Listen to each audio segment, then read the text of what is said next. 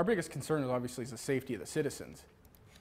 Merging fire departments. It's a proposal on the table right now for Liberty and Girard. In fact, this week, leaders in both communities will talk about forming a single district. And as 27 First News reporter Nadine Grimley tells us, they already have some big concerns.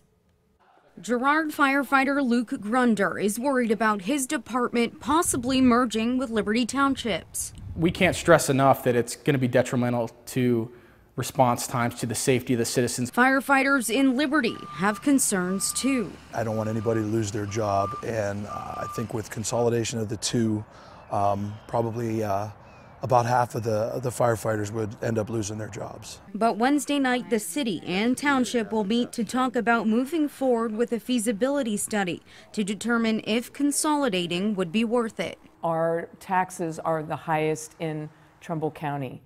So the feasibility study would allow us to know if by consolidating uh, both stations, if we could reduce that overall tax burden on our residents. I will not be rash. I will, s- I will take a look at that study uh, and break it down to make sure that we are getting uh, uh, the safety and the savings that, uh, that uh, this city would require. I can't see any negative unless the feasibility study comes back and said it's a disaster, don't do it, then it's easy. Everyone interested is encouraged to attend the meeting at the Liberty Township Administration Building at 7 p.m.